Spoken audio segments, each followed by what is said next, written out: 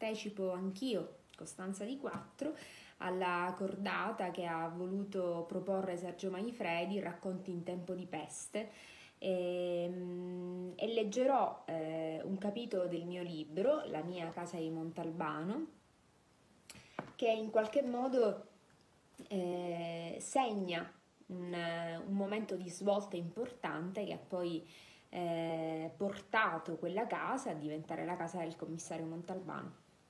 Era un lunedì, un lunedì anonimo e limpido di settembre, un lunedì senza data perché rimossa dalla memoria, un lunedì di un'accomodante banalità, arrivato dopo una domenica inutile e sparito come una cenerentola qualunque a mezzanotte.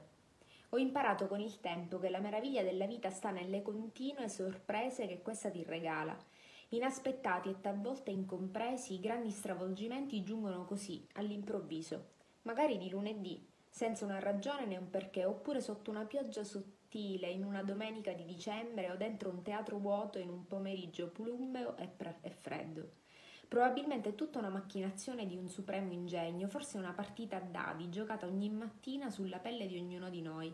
Di fatto quel lunedì i dadi rotolarono a lungo sul tappeto verde del destino, fermandosi stranamente in una felice congiuntura numerica. Eravamo tornati al mare. Più che tornati al mare eravamo usciti dall'acqua. A tavola la tovaglia azzurra si intravedeva appena, ricoperta per intero da cibi vari. La pirofila di spaghetti al pomodoro fumava al centro, accanto ad una tazza da colazione piena di salsa, una bottiglia di vino fatta in casa e il pane morbido e colloso del signor Sciacchitano. Il nonno sorseggiava il vino di sua produzione. Nonostante fosse, fosse aceto disperato, lui lo decantava come un barolo dannato e ne esaltava le meraviglie, costringendo tutti, i bambini compresi, a gustarlo. Poi scrutava con aria minacciosa ogni commensale e aspettava il responso condizionato e menzognero. Quando tutti i piatti furono colmi, ognuno si tuffò con avidità su quella piccola montagna di pasta al dente e salsa rosa come il fuoco dell'Etna. Qualcuno la cosparse di caciocavallo grattugiato, il nonno si limitò a spolverarla di pepe nero.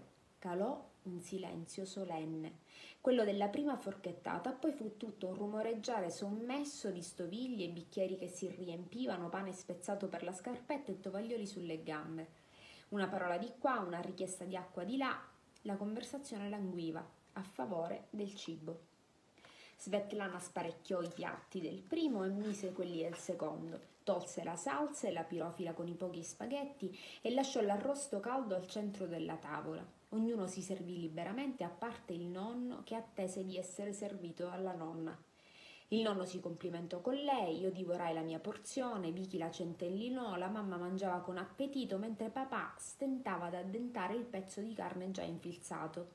Poi d'un tratto, rivolgendosi al nonno, disse Papà, ho incontrato Pasquale Spadola. Sta facendo il location manager per Palomar.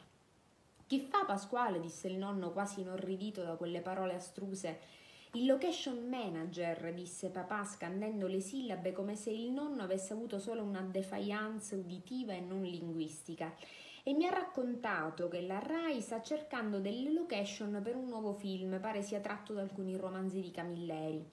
Il nonno mangiava di gola e piacere, si asciugò la bocca, beve un po' di vino e disse felicissimo per Pasquale Spadola.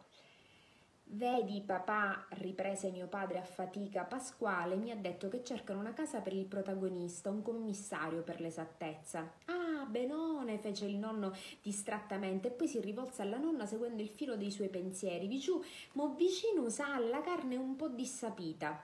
Arà, papà mio, sbottò mio padre, ti sto parlando, cerca di ascoltarmi. Pasquale mi ha chiesto se magari possono prendere in considerazione questa.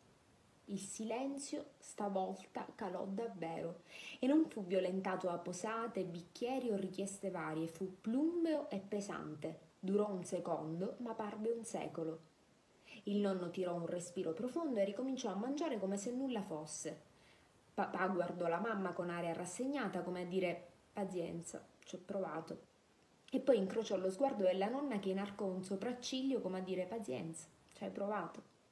Il pranzo proseguì sereno. Si parlò d'altro, dell'inizio imminente delle scuole, del tempo che si stava rompendo, del nostro trasferimento a Ragusa e di quanto ancora i nonni sarebbero rimasti a punta secca. Svetlana aveva sparecchiato e nessuno accennava ad alzarsi da tavola se prima non fosse arrivato il caffè, caldo per tutti, sempre freddo per il nonno.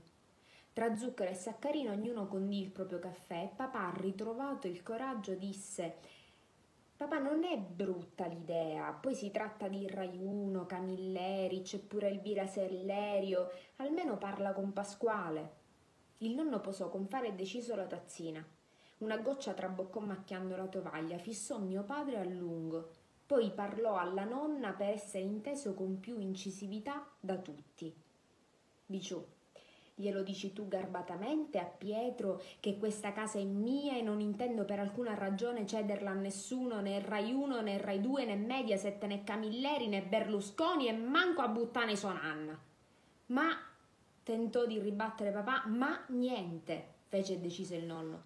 Questa è casa mia. Prima era di mio padre e prima ancora di mio nonno. Negli anni l'abbiamo trasformata nella casa che è. Qui dentro c'è la mia vita, quella di tua madre, la nostra storia e il nostro futuro, rivolgendosi con fare romantico a me e Vicky. Poi si alzò di scatto e augurando a tutti buon riposo aggiunse e poi, Pegiuzzo mio, ma che ci può interessare alla gente di vedere un film girato in questa casa?